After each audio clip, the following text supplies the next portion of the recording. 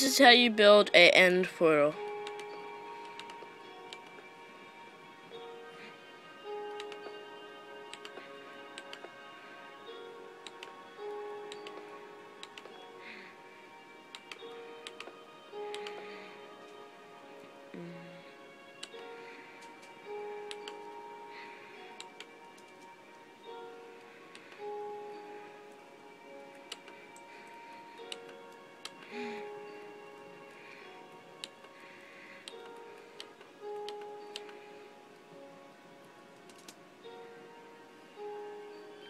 And as you can see you ju we just entered the end.